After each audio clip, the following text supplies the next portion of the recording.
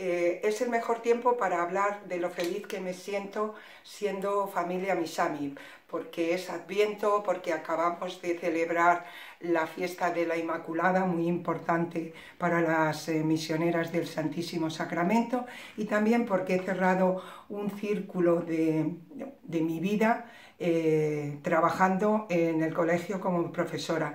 En, esa jubilación por esa jubilación me han entregado una placa donde pone gracias por tanta vida entregada.